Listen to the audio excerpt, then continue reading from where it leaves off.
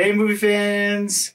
Pretty excited. We had a trailer come out for a movie I did not even know was going to happen Puss in Boots The Last Wish. So, yeah, it's a sequel from a movie from, oh, wow, a long time ago. Do you guys even mm-hmm. remember that movie? Yeah, I've watched it like once or twice when I was like four. yeah, so maybe a little bit. But it's so fun because this Z- Zorro themed cat, voiced by Antonio Banderas, is a pretty fun character. And I heard this one might have some more fairy tale characters in it. You guys like fairy tales? yeah. So tell me what fairy tale characters you see. Let's check it out, guys. Puss in Boots, The Last Wish. I am known by many names. The Stabby Tabby, El Macho Gato, the Legend Whisperer. I am Puss in Boots. Holy frijoles, He's funny. It's a you monster. got me. And the rest What? of you play double How time. I don't even do that.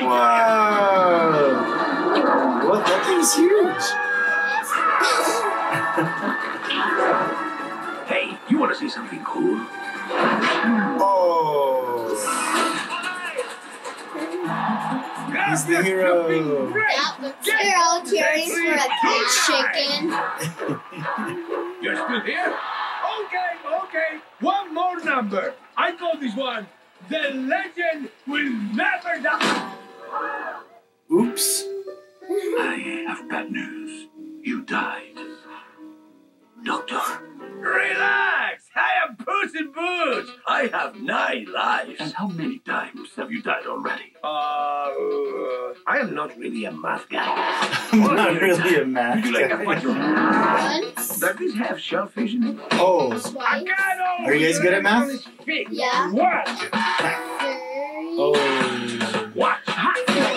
Watch! five, six. Uh-oh, guys, everything's gonna happen. And then there was the giant today. So what is that? Like uh, Eight. a four? That makes eight, Puss. What do you He's want not to a do with your last life? When you only have one life, that's what makes it special. Drive, perro!